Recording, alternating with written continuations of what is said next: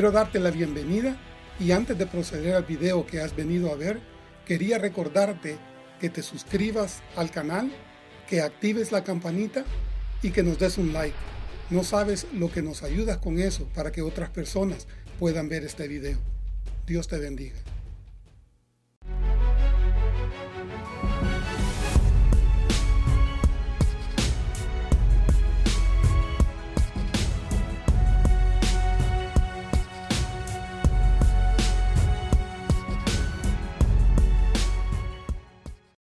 Vladimir Lenin, en su nueva versión del marxismo en la Unión Soviética, pensó que los que creían en Dios eran peores que los tontos. Todo hombre que se dedica a la construcción de un Dios o simplemente lo acepta, se constituye de la peor manera, escribió, porque no se ocupa con actividades, sino de la autocontemplación y la autorreflexión y trata de divinizar sus rasgos y mezquindades más inmundas, más estúpidas y más serviles. En consecuencia, cualquiera que crea en Dios no está simplemente en un error, está trastornado mentalmente.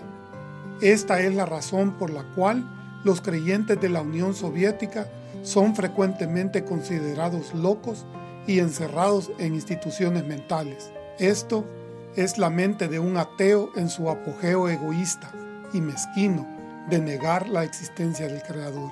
Continuando con el difícil tema de la persecución de cristianos alrededor del mundo, este día hablaremos de Sudán, oficialmente la República de Sudán. Es un país en el noreste de África. Limita con Egipto al norte, Libia al noroeste, Chad al oeste la República Centroafricana al suroeste, Sudán del Sur al sur, Etiopía al sureste, Eritrea al este y el Mar Rojo al noreste. Este país posee una población de 42.5 millones de habitantes, según el Banco Mundial de 2019, con una extensión territorial de 1.886.000 kilómetros cuadrados. El país tiene una población cristiana de 1.963.000 o un 4.6% de la población. Hasta abril de 2019, con un gobierno islámico y una opresión extrema contra cristianos, colocándola en la posición número 7 en la lista mundial de la persecución de puertas abiertas del año 2020. Originalmente en el siglo XIV, los Fung no eran musulmanes, los Fung son un grupo étnico en Sudán. La aristocracia pronto adoptó el Islam y aunque conservaron muchas costumbres africanas tradicionales, siguieron siendo musulmanes nominales. La conversión fue en gran parte el trabajo de un puñado de islámicos que llegaron a Sudán desde el mundo musulmán más grande. Sin embargo, el gran éxito de estos no fue entre los Fung, sino entre la población nubia arabizada, establecida a lo largo del río Nilo. En julio de 1820, Mohammed Ali, virrey de Egipto, bajo el imperio otomano, envió un ejército bajo su hijo Ismail para conquistar a Sudán. Mohammed Ali estaba interesado en el oro y los esclavos que Sudán podía proporcionar y deseaba controlar el vasto interior del sur de Egipto. En 1821, los Fung y el sultán de Darfur se habían rendido, y Sudán nilótico desde Nubia hasta las estribaciones etíopes y desde el río Atbara hasta Darfur se convirtió en parte del imperio en expansión de Mohammed Ali. Los pueblos nilóticos son los pueblos indígenas del Valle del Nilo, que hablan idiomas nilóticos que constituyen un gran subgrupo de los idiomas nilo-saharianos que se hablan en el sur de Sudán, Uganda, Kenia y el norte de Tanzania. Así en parte es como Sudán fue islamificado por la fuerza. La guerra civil que abatía a esa nación terminó en el año 2005.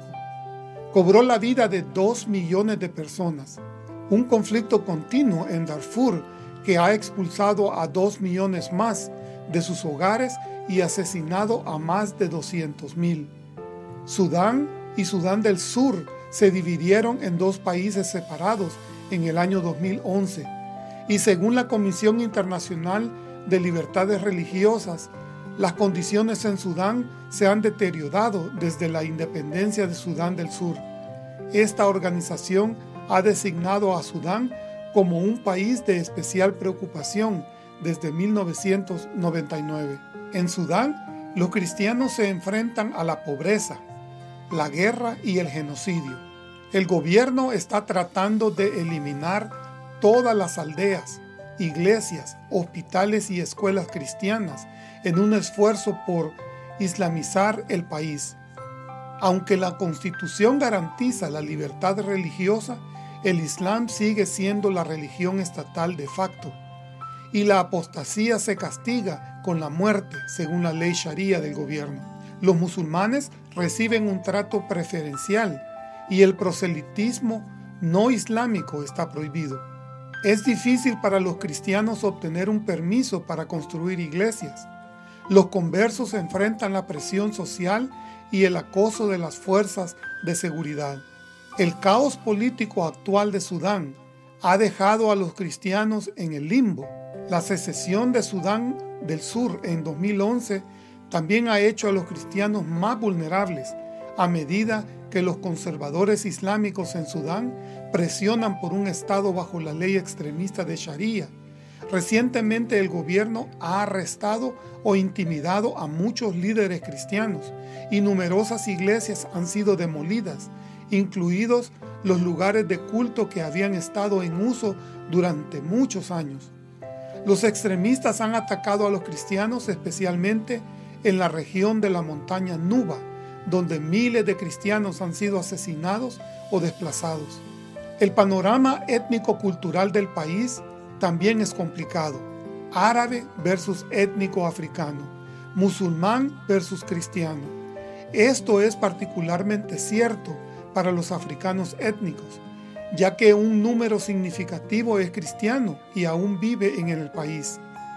Todas las comunidades cristianas en Sudán tienen miedo de tener conversaciones sobre su fe con los musulmanes sudaneses, ya que esto podría interpretarse como un acto que fomenta la apostasía contra el Islam. El nivel de persecución que enfrentan los conversos y los africanos étnicos es enorme. Ha habido muchos arrestos, muchas iglesias han sido destruidas y otras están en una lista de espera para demolición. Para no ser descubiertos, los conversos del Islam a menudo se abstendrán de criar a sus hijos como cristianos, porque esto podría atraer la atención del gobierno y los líderes de la comunidad ya que los niños podrían revelar inadvertidamente la fe de sus padres. Este miedo incluso se extiende a los funerales, donde los cristianos fallecidos con antecedentes musulmanes a menudo son enterrados según los ritos islámicos en los cementerios musulmanes. Esto a pesar de que los cementerios cristianos y musulmanes están por separado. Los conversos cristianos con antecedentes musulmanes están particularmente en riesgo, ya que la ley castiga oficialmente la conversión del Islam a otra religión con la muerte. Por lo general, se abstienen de poseer materiales cristianos o acceder a la televisión o sitios web cristianos, porque si se descubren, estos podrían ser utilizados como evidencia en su contra por los familiares o por los funcionarios del gobierno. Los niños cristianos a menudo son acosados en la escuela o en los patios de juegos debido a la fe de sus padres. Es evidente un nivel muy alto de violencia contra los cristianos, particularmente en las montañas de Nuba, Darfur, Kordofán del sur y las regiones del estado del Nilo Azul, donde los cristianos son blanco indiscriminado de las fuerzas de seguridad del gobierno de Sudán. En lo profundo del laberinto de callejuelas polvorientas en forma de panal, Ondurman, la ciudad gemela de expansión de Yartum, la iglesia de Yusef Sangila, no es visible desde la calle. Está escondida en el patio de la casa de un amigo y consta de unos pocos bancos de hierro, un púlpito y cruces pintadas apresuradamente sobre pilares que sostienen un techo corrugado. El centro anterior fue destruido porque no teníamos los documentos correctos. Siempre se negaron, así que usamos la tierra de nuestros vecinos, dice el líder religioso. Negar los permisos de la minoría cristiana para construir iglesias ha sido la principal herramienta de opresión a lo largo de los años. Otra era la cultura totalmente islámica, impuesta por el Estado en las escuelas y en el lugar de trabajo, a pesar de las disposiciones de la antigua Constitución sobre la libertad de religión. Nuestros jóvenes y niños no pueden aprender sobre el cristianismo porque todo su entorno está hecho solo para musulmanes, dice Jacob Paulus, un maestro de 28 años en Ondurman. Las cifras del gobierno dicen que los cristianos representan solo el 3% de los 42.5 millones de habitantes de Sudán, aunque los líderes cristianos dicen que la cifra real es mucho mayor coptos, católicos, anglicanos y otras denominaciones están presentes en el país. Sin embargo, el régimen islámico de Bashir los llevó a la clandestinidad. Algunas de las organizaciones benéficas extranjeras que ayudan a los cristianos en Sudán fueron expulsadas del país, un movimiento que se intensificó después de que la mayoría cristiana del sur se separó en 2011. En diciembre de 2014, los pastores Jack Michael y Peter Yen han sido acusados de varios delitos, como socavar el sistema constitucional, librar una guerra contra el Estado y espionaje. Los dos primeros cargos conllevan la pena de muerte. El grupo de campaña de Amnistía Internacional considera que los hombres son presos de conciencia, arrestados, detenidos y acusados únicamente por su expresión pacífica de sus convicciones religiosas. El caso ha traído la atención de grupos de campaña cristianos en los Estados Unidos, quienes dicen que los hombres están siendo perseguidos por su fe cristiana. Todo esto encaja perfectamente en una narrativa de larga data, aunque ocasionalmente exagerada, de la opresión estatal sudanesa de las minorías religiosas y étnicas. Según Amnistía, el señor Michael fue arrestado después de un sermón que pronunció en la iglesia en Yartum Norte, en el que expresó su preocupación por el tratamiento de los cristianos en Sudán. El señor Yen fue detenido el mes siguiente, aparentemente después de haber enviado una carta a la Oficina de Asuntos Religiosos para preguntarle sobre el arresto de su colega. Finalmente, después de la oración de la iglesia alrededor del mundo, los dos pastores fueron puestos en libertad el 19 de agosto de 2015. Sudán del Sur votó abrumadoramente por la independencia de 2011, después de dos décadas de guerra civil en la que se cree que murieron más de dos millones de personas. Los líderes sucesivos en Yartum han intentado unificar un país enorme y muy diverso, siguiendo políticas de arabización e islamización esto a menudo alejó a los no árabes y no musulmanes, y junto con el desarrollo desigual y la represión política, condujo a guerras civiles en varias partes de Sudán. Casi todos en Darfur y el Nilo Azul son musulmanes, independientemente de si apoyan a los rebeldes o al gobierno o les disgustan ambos. La cuestión ahí es más estrechadamente vinculada a la discriminación étnica y los que son vistos como árabes reciben un trato preferencial sobre los percibidos como africanos. En enero de 2020, Preocupación Cristiana Internacional informó que tres estructuras de iglesias temporales fueron incendiadas en Baut, en Sudán. Se cree que los radicales islamistas de la zona fueron culpables de incendiar tres iglesias el 28 de diciembre de 2019. Estos tres edificios pertenecían a la Iglesia Interior de Sudán, la Iglesia Católica Romana y la Iglesia Ortodoxa. Después de que se quemaron inicialmente, cada una de las congregaciones construyó estructuras temporales. Cada una de estas fue incendiada nuevamente el 16 de enero. Un pastor local anónimo en Baut dijo a Morning Star News que confirmó este incidente. Este incidente es cierto. Las tres iglesias fueron incendiadas dos veces en menos de un mes. Sin embargo, el nuevo ministro de Asuntos Religiosos, Nasir al-Din Mufresh, ha dicho que el gobierno de Sudán está dedicado a la libertad religiosa y ha estado investigando la situación. Dijo que hasta donde él sabía, solo una iglesia había sido atacada y la policía había arrestado e interrogado a un sospechoso, pero que luego lo liberaron porque no ha encontrado suficientes pruebas. En marzo de 2020, Preocupación Cristiana Internacional dijo que según Radio Davanga, otras dos iglesias fueron incendiadas por los extremistas durante el último mes. Radio Davanga recibió un informe de un abogado local y defensor de los derechos humanos llamado Dimas Marajan. Marajan dijo que aunque ha habido algunos cambios en Sudán desde la caída de Bashir, la violencia contra las comunidades cristianas ha continuado por parte de los extremistas islámicos. Dijo que el primer ataque tuvo lugar el 29 de febrero en Ondurman, la ciudad gemela de Yartum, al otro lado del río. El edificio pertenecía a la Iglesia de Cristo sudanesa, a menudo perseguida. El segundo incendio tuvo lugar el 9 de marzo, cuando militantes incendiaron una iglesia en la aldea de Baut del estado del Nilo Azul. La iglesia pertenecía a la Iglesia Evangélica Presbiteriana. Estos ataques se produjeron solo un par de meses después de que tres iglesias fueran incendiadas en el sureste de Sudán. También en marzo de 2020, Ahmed al-Nur se convirtió al cristianismo a fines de 2018.